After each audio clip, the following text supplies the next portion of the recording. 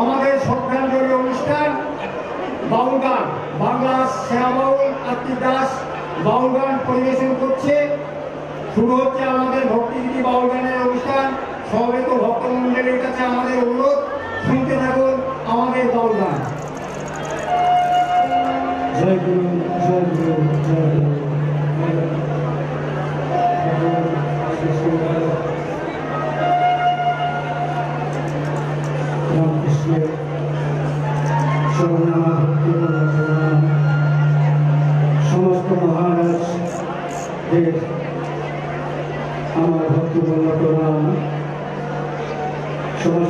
সমস্ত ভক্তবৃন্দদের আমার শ্রদ্ধা ভক্তি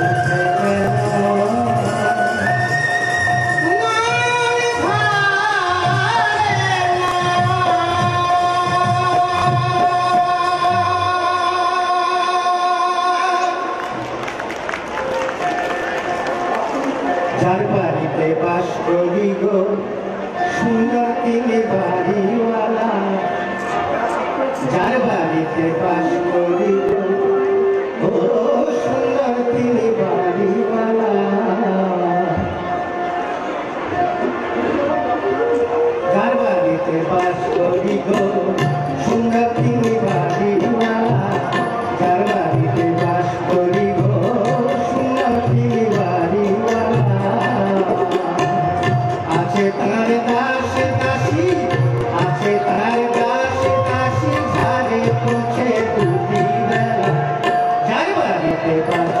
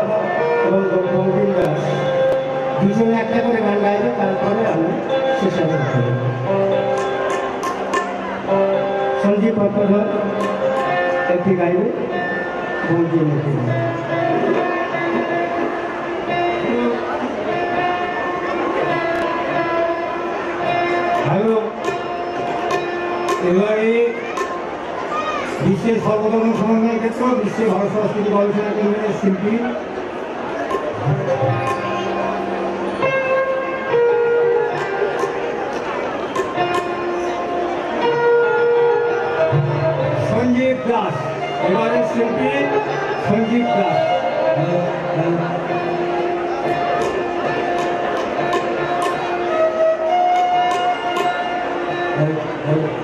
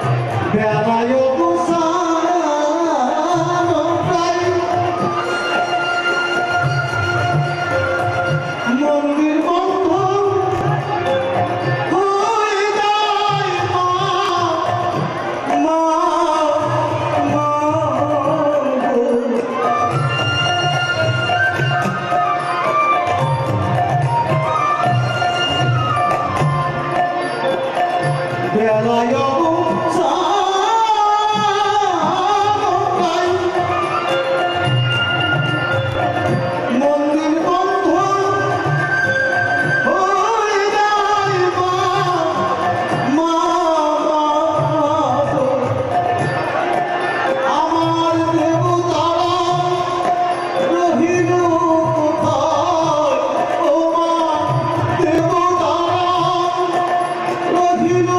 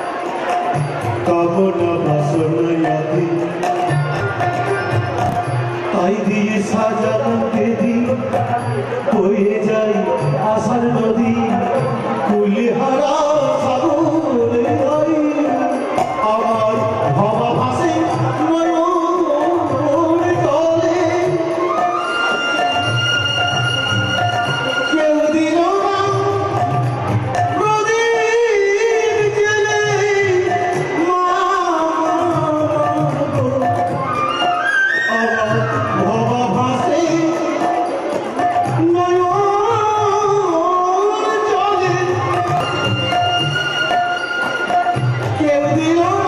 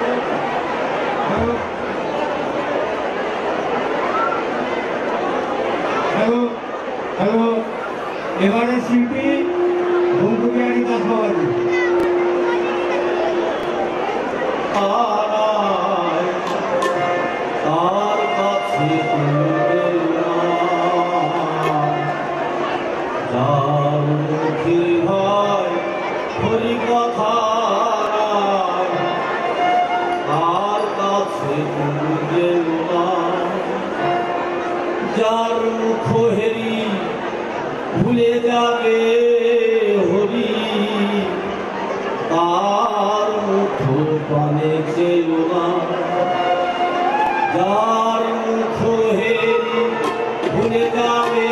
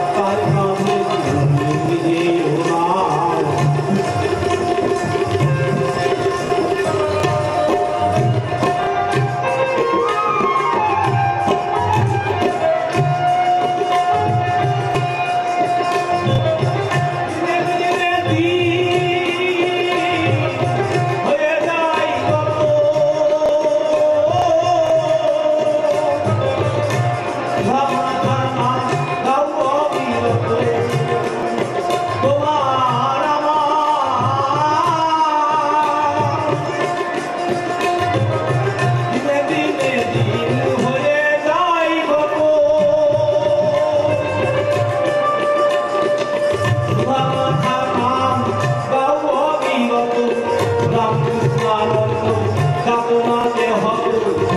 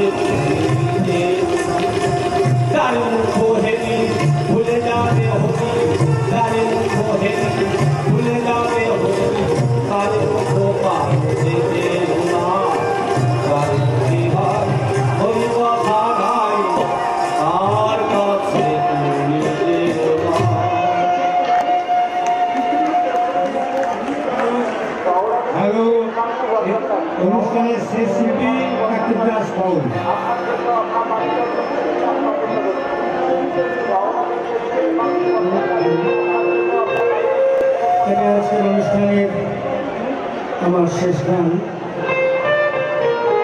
লালন ফকিরের কথাই একটা বিখ্যাত মিলন হবে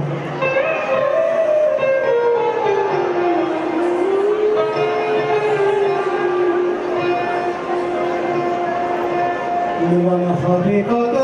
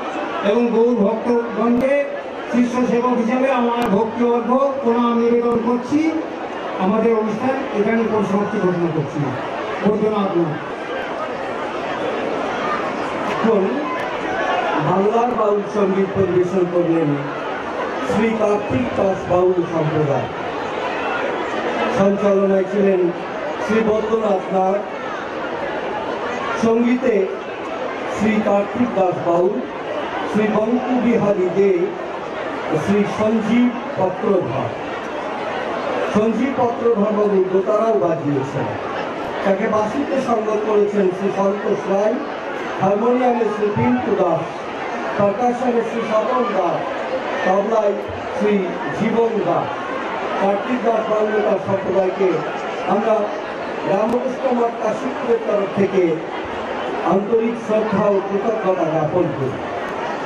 আমাদের পরবর্তী অনুষ্ঠান কালী কীর্তন। এই কালী কীর্তন এখন পরিবেশন করবেন শ্রী শ্রী বিন্ধবাসিনী প্রেমিক সংঘ আড়িয়াদহের শিল্পীবৃন্দ। আড়িয়াদহের এই বিন্ধবাসিনী প্রেমিক সংঘটি উনিশশো তিরিশ সালে প্রতিষ্ঠা হয়।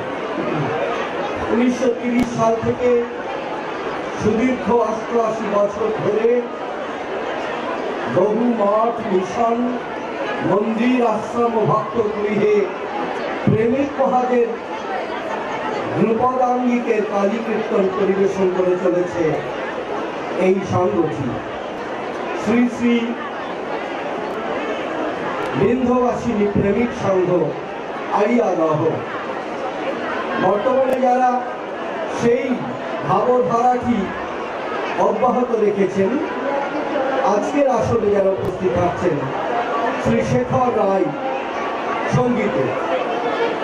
শ্রী সৌমেন মুখার্জি সঙ্গীতে। লোহাটি হিসাবে সহযোগিতা থাকবেন। গলা মেলাবেন শ্রী সৌরভ রায়, শ্রী রাজকুমার পাল, শ্রী ভোলানাথ, সাধু খান, শ্রী অমরনাথ দাস, শ্রী সৈকত তারক তারক ও মাস্টার স্বপ্নীল মুখার্জি।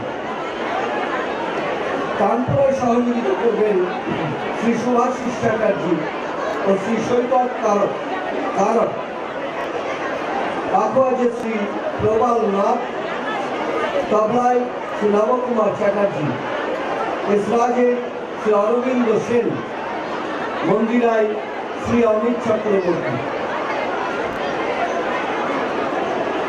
এবং হারমোনিয়ামে মাস্টার নরেন্দ্র প্রামাণিক।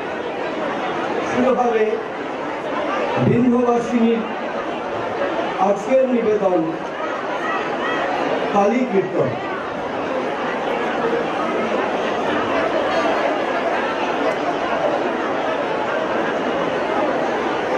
এই সেই পূর্ণ লীলা ক্ষেত্র,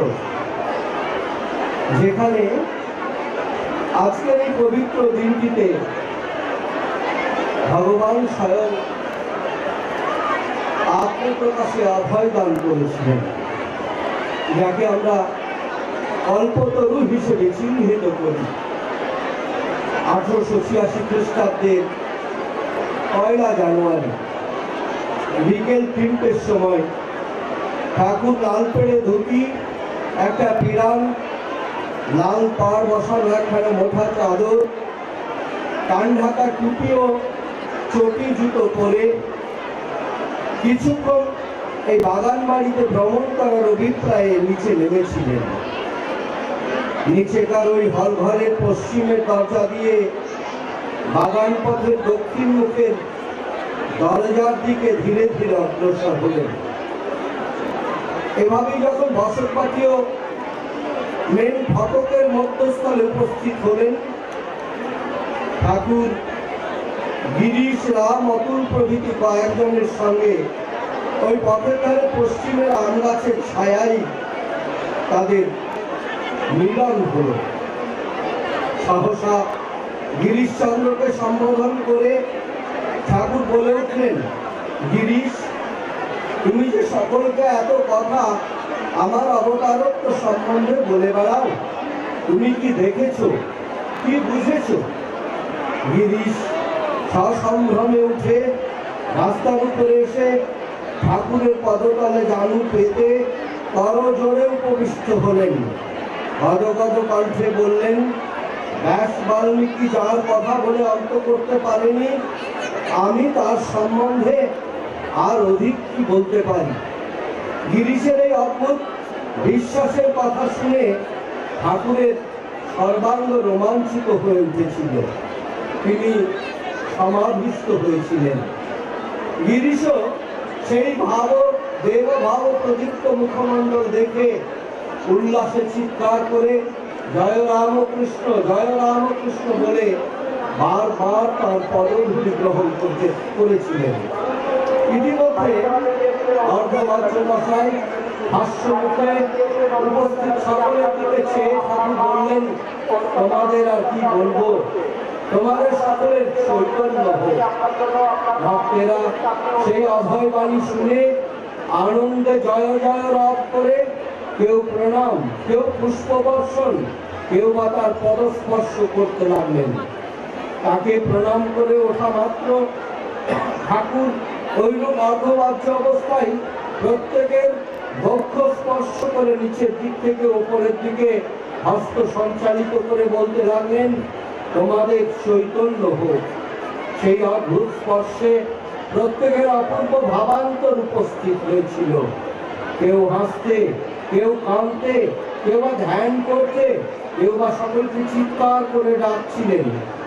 পরে ওই সময়কার নিজ নিজ অনুভূতি সম্বন্ধে জিজ্ঞাসিত হলে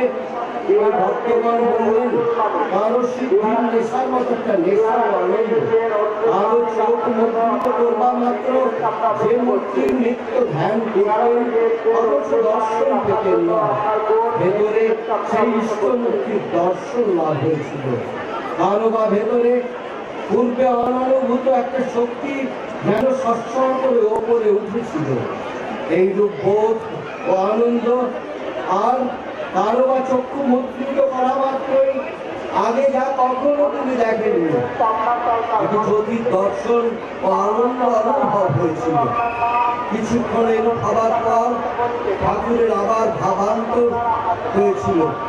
ভক্তরা ঠাকুরকে পূর্বের ন্যায় প্রকৃতিস্থ হতে দেখলেন। ঠাকুরও সেদিনের মতো এই বাগানের ভ্রমণ পর্ব সমাপ্ত করে নিজের কক্ষে উপবিষ্ট হয়েছিলেন। পরবর্তীকালে লীলা প্রসঙ্গকার পূজ্যপাদ শ্রীমৎস্বামী সারদানন্দজি মহারাজ এই প্রসঙ্গে লীলা প্রসঙ্গে লিখেছেন। কোন কোন ভক্ত এই ঘটনাটিকে ঠাকুরের কল্পতরু বলে নির্দেশ করেছেন। কিন্তু আমাদের বোধ হয় তাকে ঠাকুরের অভয় প্রকাশ অথবা আত্মপ্রকাশ পূর্বক সকলকে অভয় প্রদান বলে অভিহিত করাই অধিকতর যুক্তিযুক্ত। প্রসিদ্ধি আছে, ভালো বা মন্দ, যে যা প্রার্থনা করে, অল্পতরু তাকে তাই প্রদান করে। কিন্তু ঠাকুর, আমাদের ঠাকুর তো ওরূপ করেন না নিজ দেব মানবত্বের এবং জনসাধারণকে নির্বিচারে অভয় আশ্রয় প্রদানের পরিচয়িত আর সমস্ত লীলায় সুসংগঠিত ও সুব্যক্ত হয়েছিল। প্রতি বছর তাই ওই পয়লা জানুয়ারি দিনটি অসংখ্য ভক্তমণ্ডলী সমাবেশে বিপুল আনন্দের সঙ্গে এই পুণ্যভূমিতে উদযাপিত হয়ে থাকে। সেই অঙ্গ হিসেবেই দু হাজার আঠেরো সালে পয়লা জানুয়ারি থেকে তেসরা জানুয়ারি পর্যন্ত, বুধবার পর্যন্ত কল্পতরু উৎসব অনুষ্ঠিত হচ্ছে কাশীপুর এই উদ্যান বাটিতে আজকে ভোর মঙ্গলারতি থেকে যে উৎসবের শুভ সূচনা হয়েছে। আগামী দুদিন সেই অনুষ্ঠান চলবে। আজকে সারাদিনের এই অনুষ্ঠান এখনও বৈকালিক ধর্মসভা। তার আগে কালী কীর্তনের পরে রামকৃষ্ণ লীলা প্রসঙ্গ পাঠ ও ব্যাখ্যা ও পরবর্তীকালে ধর্মসভা। শ্যামা সংগীত ভজন ও সব শেষ অনুষ্ঠান নৃত্যাঞ্জলির মধ্যে দিয়ে শেষ হবে প্রথম দিনের অনুষ্ঠান। সময় সুযোগ মতো আগামীকাল ও আগামী পরশু দিনের অনুষ্ঠান সূচি আপনাদের জ্ঞাতার্থে জানিয়ে রাখব। এখন শুরু হচ্ছে কালী কীর্তন। শ্রী শ্রী বিন্ধবাসিনী প্রেমিক সংঘ আড়িয়াকাহের আজকের নিবেদন এই কালী কীর্তন।